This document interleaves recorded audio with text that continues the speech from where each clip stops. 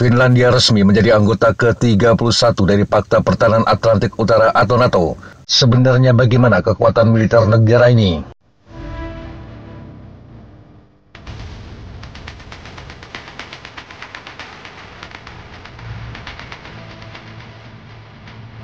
Finlandia menjadi negara pertama yang bergabung dengan NATO sejak Makedonia Utara pada tahun 2020. Dengan aksesi Finlandia, blok tersebut akan mendapatkan militer modern yang terorganisir. Militer yang dibangun dengan tugas inti untuk bertahan melawan serangan Rusia. Kedua negara memiliki perbatasan sepanjang sekitar 1.300 km.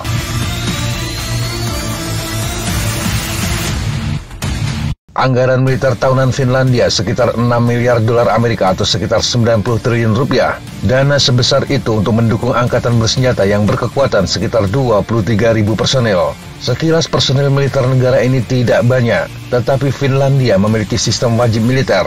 Jika terjadi perang, Helsinki dapat memperluas militernya dengan cepat menjadi sekitar 280 ribu personel. Mereka diambil dari sekitar 900 ribu cadangan yang melakukan latihan reguler. Pasukan Finlandia juga memiliki pengalaman tempur yang relatif segar. Meski dalam jumlah kecil, Finlandia bergabung sebagai bagian koalisi barat di Afghanistan.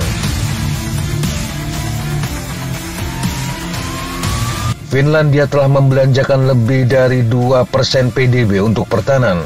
Ini merupakan target NATO yang ditetapkan untuk negara-negara anggotanya pada tahun 2014. Angka yang mungkin akan segera dinaikkan di tengah ketegangan yang semakin dalam dengan Moskow.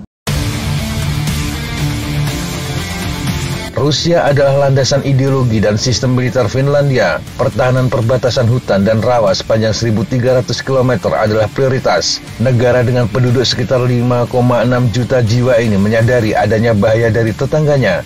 Ini mengingat negara itu diserang oleh Rusia atau Uni Soviet lebih dari sekali pada abad ke-20. Mati Pesu, seorang peneliti senior di Institut Urusan Internasional Finlandia, mengatakan secara keseluruhan militer Finlandia cukup mampu. Angkatan udara, angkatan darat, dan laut negara ini dilengkapi dengan senjata yang cukup baik.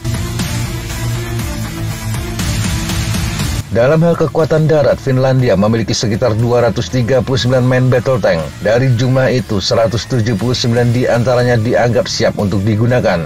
Komposisi tank terdiri dari Leopard 2A4 dan Leopard 2A6 buatan Jerman. Finlandia juga memiliki ribuan kendaraan lapis baja. Lebih dari 100 di antaranya adalah kendaraan tempur infanteri CV-90 buatan Swedia. Kendaraan yang juga dikirim di Ukraina dan dianggap sebagai salah satu kendaraan tempur infanteri terbaik di dunia. Helsinki unggul dalam daya tembak artileri. Angkatan Darat Finlandia memiliki lebih dari 100 artileri self-propelled 39 di antaranya adalah K9 Thunder buatan Korea Selatan. Selain itu, Finlandia juga memiliki 29 M270 Multiple Launch Rocket System atau MLRS, sistem yang sama dengan HIMARS. Bedanya, M270 menggunakan roda tracker dan membawa muatan lebih banyak. Komandan Tinggi Finlandia Jenderal Timo Kivinen pada Desember 2022 mengatakan mereka memiliki kemampuan pertahanan yang signifikan untuk mengobarkan jenis perang yang sekarang terjadi di Ukraina. Menurutnya berdasarkan per kapita mereka mungkin memiliki kekuatan tembakan paling besar di Eropa. Kekuatan udara Finlandia juga cukup kuat. Bersama dengan Estonia, Latvia, Lituania, dan Polandia, Finlandia kini menjadi bagian dari garis depan NATO dengan Rusia. Angkatan udara negara ini terdiri dari 55 FA-18 Hornet buatan Amerika, jet tempur dipersenjatai dengan amunisi canggih termasuk rudal udara ke udara IM-9 Sidewinder, juga rudal jelajah udara ke darat AGM-158. Jet tempur juga telah menjalani beberapa kali upgrade termasuk penggunaan data link 16. Ini menjadikan pesawat bisa berkomunikasi dengan platform NATO. FA-18 Finlandia akan mulai diganti dengan 64 pesawat tempur generasi kelima F-35 pada tahun 2026. Pengiriman penuh direncanakan akan selesai pada tahun 2030. Wilayah Lapland Finlandia juga sekarang menawarkan area pelatihan terbesar NATO untuk pertempuran udara. Dalam hal pertahanan udara, Finlandia dilindungi oleh sistem jarak pendek Asrat Air. Sebanyak 16 sistem anti pesawat ini mereka gunakan.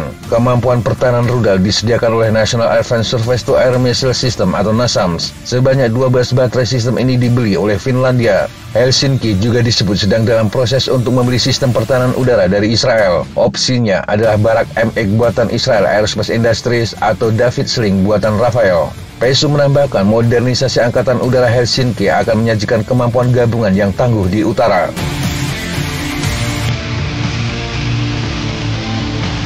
Finlandia memiliki garis pantai sepanjang sekitar 4.500 km di Laut Baltik. Dengan aksesi Finlandia dan Swedia yang mungkin akan menyusul, laut ini dapat dianggap sebagai danau NATO. Angkatan Laut Finlandia diperkuat dengan 8 kapal rudal dan 10 kapal penyapu ranjau. Kekuatan ini sangat terfokus pada perbatasan langsung dan di kepulauan, tetapi menurut PESU mereka dilengkapi dengan baik untuk beroperasi di bagian utara Laut Baltik.